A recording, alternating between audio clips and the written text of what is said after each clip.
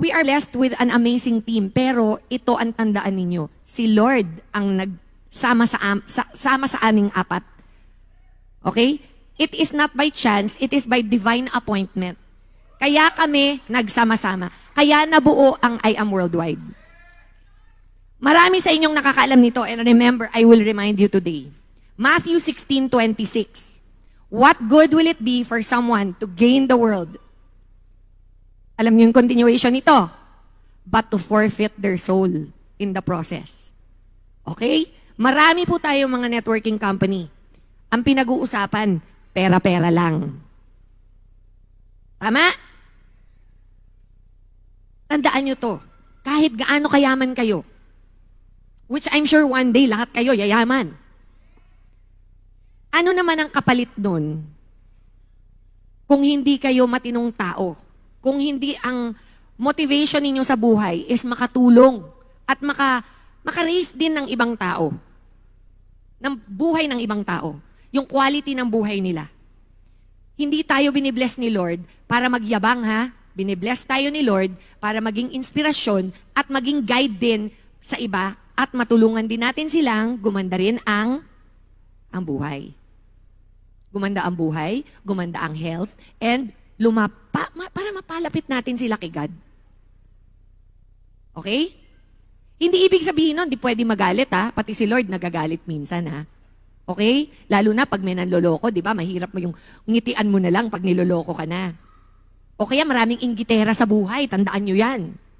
O kaya madalas nare-reject kayo, bastos pa pag nag-reject. Di ba? Di na baling sabihin na lang, no thank you. Iinsultuhin ka pa habang nagno-no thank you. Parte po yan ng buhay. Pero nasa sa inyo po yan kung paano nyo gustong, kung paano kayo magre-respond. Okay? Ito, importante to. Clarify the difference between what is I Am Worldwide, what is Sante, and what is Salveo. Loaded ang mga tanong ni Pitch eh. Ano Pitch? Gusto ni anak ano eh. Maiintriga ako. Ako naman po ay simpleng magsasabi lang ng totoo. Okay? Ang dahilan po kung bakit ayoko na talagang mag-network marketing noon is na-burn po ako ng Sante. Nilapitan po nila ako dati, nung nag-umpisa pa lang sila. Ako po ang nagsusupply ng barley nila. Sinubukan nila pong dumiretso behind my back sa supplier ko. Hindi sila in-entertain. Kaya ang ginawa nila, nag-New Zealand na lang sila. Kaya hindi sila makakuha ng barley sa Australia. So sa lahat po ng Sante followers na nanonood sa akin today, sa mga online ninyo, stop using my videos. Stop saying, I am part of Sante. I have never been and will never be part of Sante. I am the barley queen. I am the one that brought barley to the Philippines. And I am worldwide. Ngayon, the other one. Let's talk about Salveo naman. Nakakainit ng ulo eh. Sorry ah. Salveo. Nakachamba po kayo na naka-video sa farm sa Australia. Ngayon, inabuse nyo po yun. Kine-claim ninyo na doon kayo kumukuha ng barley. Meron po akong proof letter from the owners of the farm in Australia. Bibigay ko to kay Peach mamaya para ma-screenshot mo or ma-scan mo Peach at ma-share mo sa lahat ng leaders. Babasahin ko po ngayon ha. This was dated September of last year pa, 2022. Kasi sa init ng ulo ko, kinausap ko na yung mga may-ari mismo. This is to certify that Herb All Organic Trading Philippines who is the sole supplier of I Am Worldwide Philippines, is the exclusive distributor of our 100% Australian-grown, processed, and certified organic barley grass in the Philippines. We do not, capital N-O-T, deal with or supply any of the Australian-grown products to Salveo Barley. Signed by the owners of NutriGreen Australia. Siguro naman po, there's nothing wrong with doing business, di ba? But let us try to do business with integrity. Lastly, ito importante to. Kasi kawawa dito yung mga naghihirap na mga ano natin, ng mga member natin. Marami pong nagbebenta ngayon ng mga fake sa mga online platform. Nag-order na rin po ako para makita ko.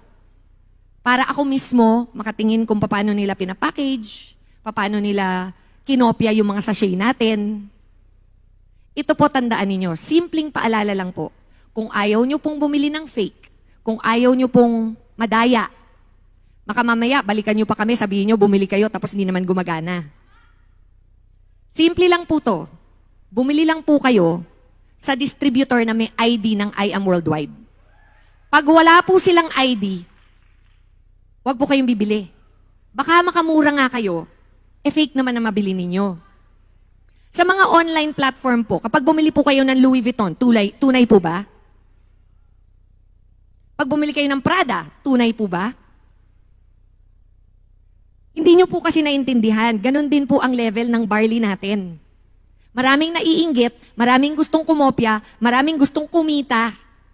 Pero ang kinikita naman nila, binebenta nila puro peke. Kaya nila nabibenta ng half price. Ang nakakakuha lang po ng half price sa I Am Worldwide is ang legitimate member.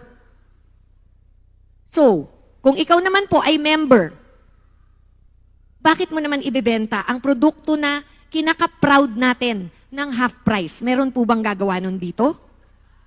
Kikita ba kayo kung gagawin nyo yun? Hindi. So wag na natin patulan yung mga online sellers pagdating sa ating mga produkto. If you want legit, go direct to the source.